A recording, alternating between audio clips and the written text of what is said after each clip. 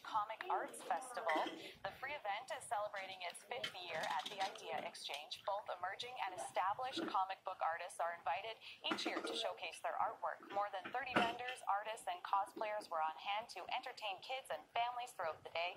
The event founder says this is the perfect time of year to host the festival we're happy to, to host it like this uh, last week to try to match it up with the last few weeks before school starts. So it's a really good event for the kids to come and know, have fun through the library and, of course, get to meet the artists one on one.